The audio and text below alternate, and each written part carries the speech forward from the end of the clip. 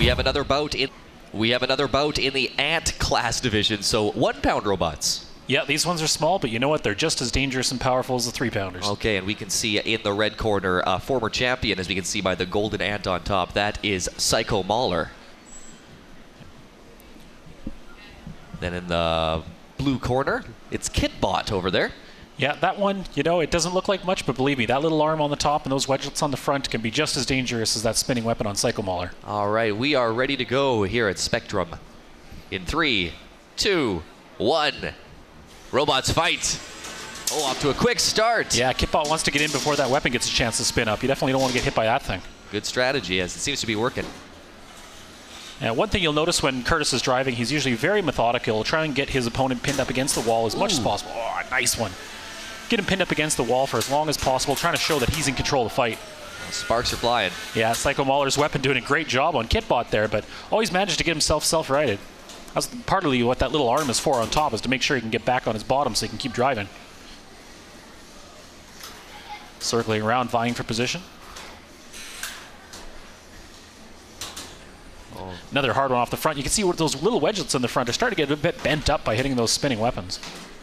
These are two very quick robots, too. They are, yeah. Very difficult to drive, but, you know, both of them have quite a bit of practice at at this point.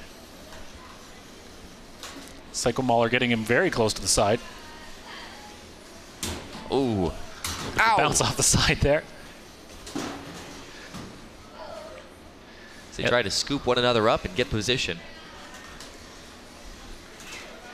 Yeah, very strategic fight, especially with these smaller robots. You tend to see a lot less of the big hits and a lot more of just trying to jockey for position and try and line up the big hit that puts them out. As they get knocked around a little more. Again, just two very quick and agile robots. Yeah, Psychomauler doing the same thing that Kitbot would be doing, pinning him in the corner, trying to show control. Oh, nice one. Puts the underneath right into that spinning hazard. Once again, lining up, trying to see who's going to be the first to go in, who's going to get around. So far, another uh, quite evenly matched Yeah, here. both very patient drivers. They've they've done this one a few times. Kitbot now sandwiching Yeah, trying to actually very getting slowly, but ever so more closely to that side. inch by inch.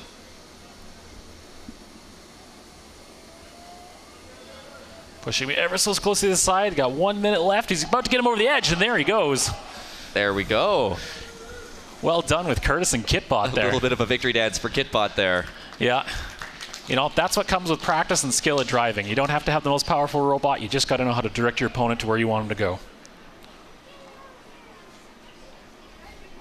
You can see those blades banged up. Yeah, that one was a really good one. Gets right up underneath him and just runs him straight into the hazard. Then that one there too. I mean, that was a that was a long, tiring push, but he manages to get him right to the edge and out the side, and that's what you need. Well done.